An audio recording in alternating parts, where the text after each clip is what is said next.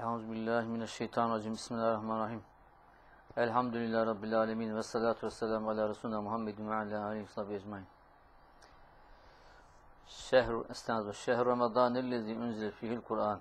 Hüden linnâsi ve beyinâtin minel hüdâ vel furkan. İlâ ahire sallallahu Ramazan ayı öyle bir aydır ki onda Kur'an indirilmiş.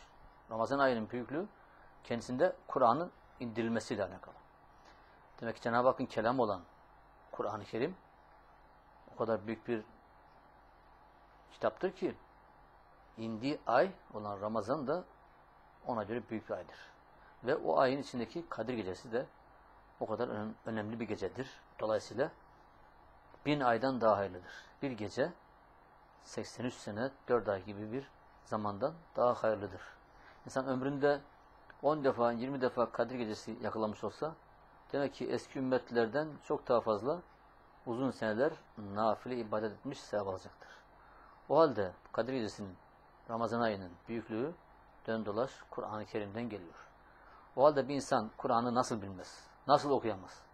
Kim ki Kur'an bilmedi, sanki dünyaya gelmedi. İnsan hiç olmazsa şu elif bağ'ı eline alır, en yakınında bildiği bir hocaya, cami hocasına veya Kur'an bilen bir hafıza gider. Yalvarır yakarır, ne olur bana şu harfleri tanıt. Orta hali zeki kimseler bu işi 15 günde, 20 günde bilemedim bir yerde çözüyor. Biraz daha zeki olanlar bir haftada, daha zeki olanlar 3-5 gün içinde Kur'an alfabesini çözüyor. Birkaç gün sonra ekleye ekleye Kur'an-ı Kerim'i okumaya başlıyor. Ayet-i Kerime'de. Estağınız bile. Ve lekad yessernel Kur'an li zikri müddekir.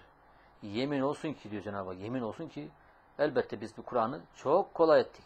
Yok mu vaazlanacak? Yok mu kafayı çalıştırıp akıllanacak, ibret alacak?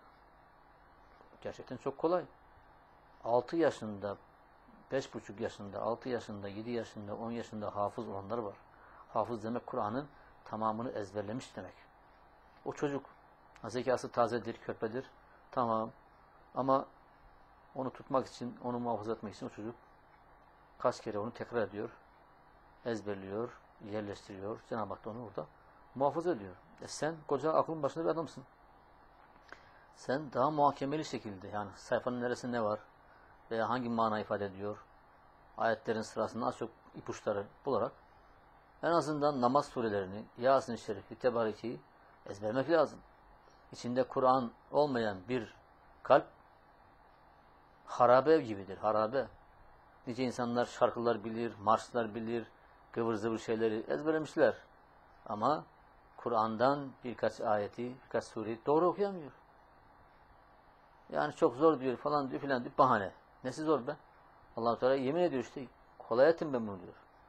Demek ki Kur'an'ı anlamadan allah Teala'nın emrini, hükmünü anlayamayız.